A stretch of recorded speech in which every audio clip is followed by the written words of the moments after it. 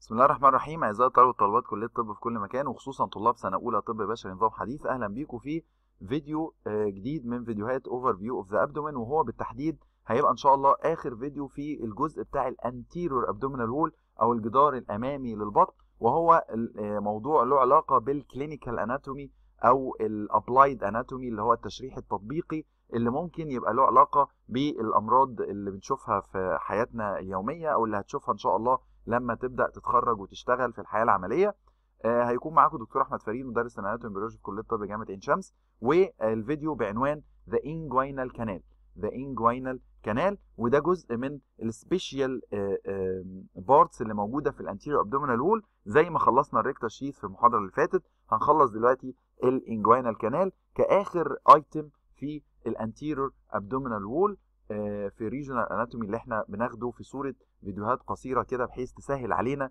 المواضيع وإن شاء الله توقفنا على base وأرضية ثابتة تخلينا نقدر ندرس ال anatomy in details في السنوات القادمة إن شاء الله. الصورة دي زي ما أنت شايف هو ال right side بتاع ال lower part بتاع ال anterior abdominal wall زي ما أنت شايف.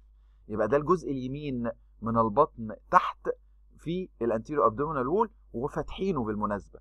فاتحين فيه شباك كده زي ما انت شايف وباينة قدامي طبقات ال anterior abdominal wall. نحاول نراجعها مع بعض. كان في skin وكان في fascia شلناها. لقيت قدامي الثلاث عضلات ال external oblique ثم ال internal oblique ثم ال transversus abdominis وهلاقي ال transversus abdominis تحتها ال fascia اللي مبطناها اللي اسمها fascia transversalis. وبعد كده هلاقي طبقة الدهون اللي هي اسمها extraperitoneal fat وبعدين هلاقي ال parietal peritoneum اللي هو ال peritoneum الجداري اللي كان مبطن جدار البطن من الداخل.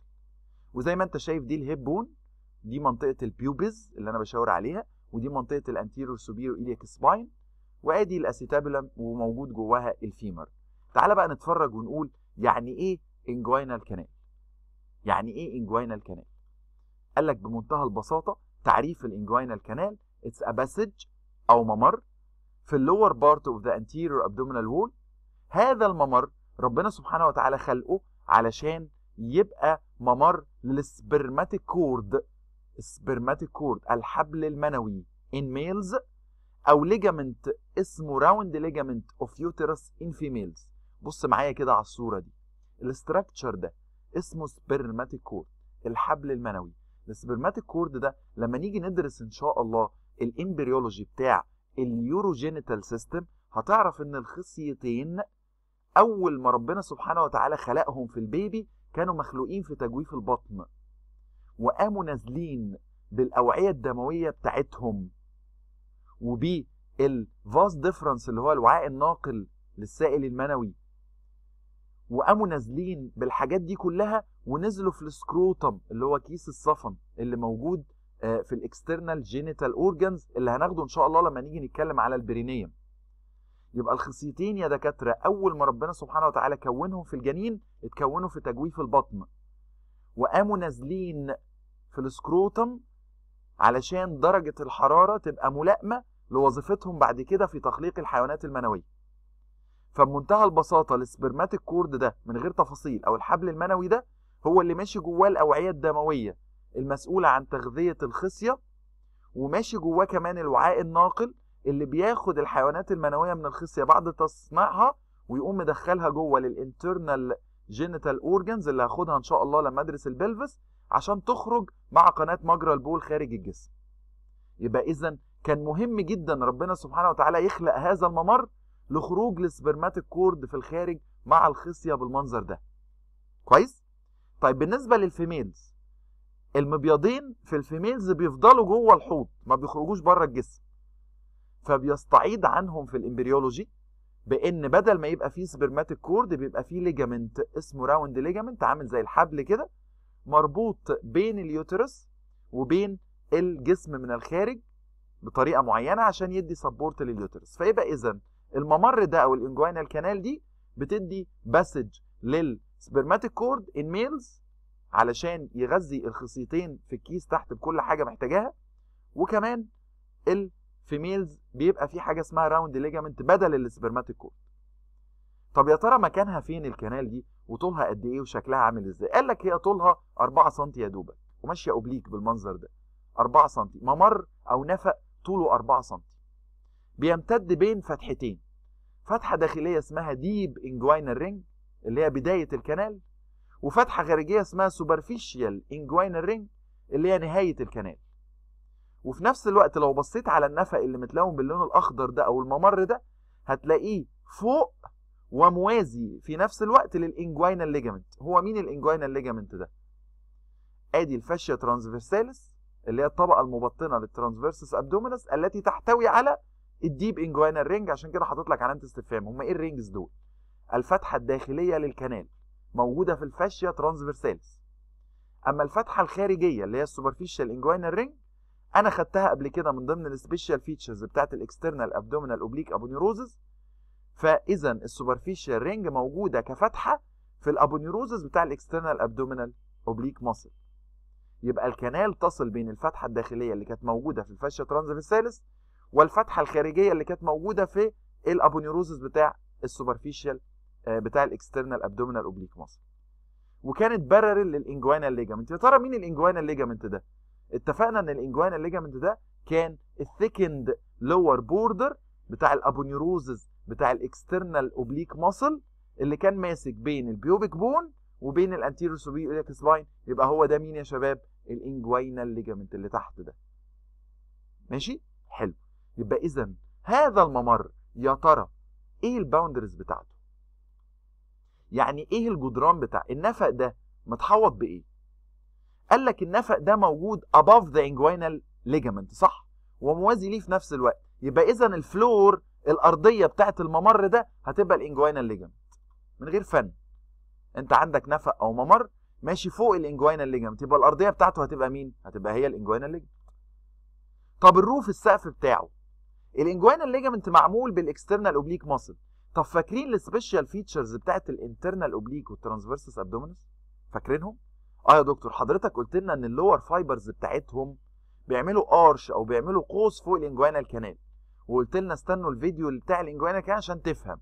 بص معايا كده مش دي ال internal oblique عملت arch أهي شايفها هذا ال arch هذه ال arching fibers مش دي transversus abdominis عملت arch أهي. فبقوا الاثنين مع بعض. عملوا حاجة اسمها conjoint tendon التندون التوأمي فاكرها دي؟ اللي عامل قوس زي قوس النصر كده above ال inguinal canal فيبقى اذا ال roof بتاع ال inguinal canal هو ال arching fibers بتوع ال internal oblique وال transversus abdominis ولك الحق إنك تقول ال conjoint tendon بدل ما تقول arching fibers. الوتر التوأمي اللي اتصنع بال lower fibers بتاعت ال internal oblique وال transversus abdominis مع بعض. بص أهو أهو عامل arch فوق ال canal وادي ال labels نزلت عشان تعرف إن ده ال roof بتاع ال canal يبقى أنا كده عرفت أرضيتها inguinal ligament السقف بتاعها كان قوس النصر المصنوع بال lower arching fibers بتاعت ال internal oblique وال transversus abdominis muscles طب يا ترى إيه الجدار الأمامي بتاعها؟ بالعقل بقى. الجدار الأمامي بتاعها هو الجدار اللي فيه الفتحة الخارجية بتاعتها ال external abdominal oblique aponeurosis الذي يحتوي على ال superficial ring طب الجدار الخلفي بتاعها بص الممر اهو يا ترى الممر ده ساند ورا على إيه؟ أكيد ساند على ال fascia اللي كان فيها الفتحة اللي بتبدأ الممر أصلا اللي هي مين؟ ال fascia transversalis التي تحتوي على ال deep inguinal ring بس كده مش عايزك تفهم أكتر من كده الموضوع بسيط جدا. اتخلق عندي ممر بين العضلات وال layers بتاعت ال anterior abdominal wall عشان حاجة معينة كده تخرج من ال abdominal cavity وتخش في هذه ال ring وتمشي جوه الخضار ده جوه النفق وتقوم خارجة بره عشان ليها لازمة مهمة جدا لأن الخصية أصلا موجودة بره الجسم. تمام؟ ولما تدرس ال embryology هتعرف إن ده الممر اللي الخصية مشيت فيه عشان تخرج من تجويف البطن إلى الخارج وتبقى موجودة في السكروتم أو في كيس الصفن في الخارج علشان يبقى درجة الحرارة ملائمة لشغلانتها بعد كده اللي هي تخليق الحيوانات المنوية. لأن عرفنا عارفين إن السكروتم درجة حرارته أقل من درجة حرارة الجسم بكميه معينة فتبقى دي مناسبة لصناعة الإيه؟ الحيوانات المنوية. تمام؟ واحد يقول لي أمال إيه العضلة المقصوصة دي؟ دي ال rectus abdominis وال pyramidalis شايف معمول عليهم غلاف اسمه rectus sheath إزاي؟ دي by the way يعني. يبقى اذا الممر أو النفق ده كانت أرضيته ال inguinal ligament كان متسقف فوق بالقوس اللي معمول بال internal oblique و transversus abdominis وكانت ال anterior wall بتاعته ال external oblique aponeurosis اللي كان فيه المخرج بتاع النفق ال superficial ring وكانت ال posterior wall بتاعه النفق ده هي ال fascia transversalis اللي كان فيه بداية هذا النفق اللي هي ال deep inguinal ring تمام؟ طيب هل ده ممكن يعمل applied anatomy معين؟ طبعا. طبعا.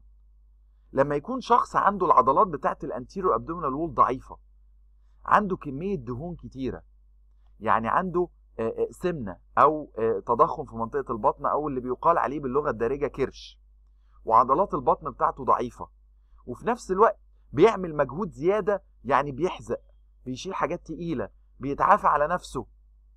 ممكن جدا يخرج جزء من محتويات ال abdomen أو من أحشاء ال abdomen ودايما في معظم الأحيان بيبقى جزء من ال small intestine اللي هندرس شكلها إن شاء الله لما أتكلم على ال organs بتاعت ال abdomen.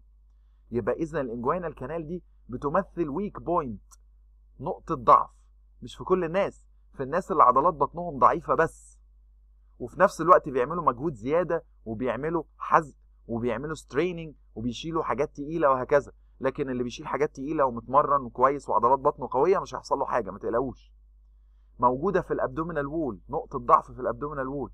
through which من خلال هذه نقطة الضعف ممكن جزء من أجزاء الأحشاء اللي في ال abdomen وخصوصا ال intestine الأمعاء ي bulge أو يخرج من ال inguinal canal ويخرج كده بره من خلال ال superficial inguinal ring ويخش في الكيس ال scrotum مع ال testis ويعمل swelling هنا كده. العيان يقول لك حاسس بحاجة كده هنا منفوخة ولما بنام على ظهري وأدخلها بترجع تاني. دي اسمها inguinal hernia.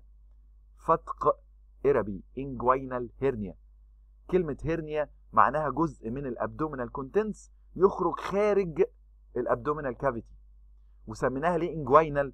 لأن في أنواع تانية من ال hernia مش مش موضوعي خالص إن أقولها دلوقتي بس سميناها inguinal لأن الجزء أو المخرج اللي خرجت منه هذه ال abdominal contents كان ال inguinal canal عن طريق ال superficial ring في الآخر وتخرج في ال scrotum وده تعريف ال hernia بتحصل إمتى؟ لما جزء من ال small intestine الامعاء الدقيقة يخرج أو يخش جوه ال inguinal canal ويخرج خارج ال cavity بتاع البطن يعدي من ال deep ring ويقوم ماشي في ال inguinal canal وممكن يوصل لل superficial ring زي الصورة اللي أنت شايفها دي. عملنا zoom على منطقة ال superficial ring وكبرناها هنا ويبقى دي اسمها inguinal hernia وبمعلومة ال inguinal hernia وناخد بالنا منها. لو حد من قرايبك يقول لك ده أنا جالي فتق أربي تبقى عارف إن هو عضلات البطن عنده ضعيفة أو هو من الناس اللي بتشيل حاجات تقيلة من غير ما تكون متمرنة كويس أو بتحزق زيادة وهي بتشيل حاجات تقيلة عليها من غير ما تكون متمرنة كويس. بالمعلومة دي أصل لنهاية مجموعة فيديوهات. ال anterior abdominal wall اللي كانت عبارة عن أربعة videos. اتكلمنا في أول واحد عن ال layers بصفة عامة بتاعة ال anterior abdominal wall في الفيديو الثاني اتكلمنا عن ال muscles of the anterior abdominal wall في الثالث اتكلمنا على ال rectus sheath وعرفنا بتكون إزاي. وفي آخر فيديو في ال anterior abdominal wall اتكلمنا على ال inguinal canal وعرفنا ال applied anatomy بتاعها. إلى اللقاء إن شاء الله في محاضرة ال posterior abdominal wall في يعني قريبا إن شاء الله مجرد ما تجهز هتنزل لكم. أترككم في رعاية الله وأمنه. كان معكم دكتور أحمد فريد مدرس anatomy embryology كلية طب جامعة عين شمس. والسلام عليكم ورحمة الله وبركاته.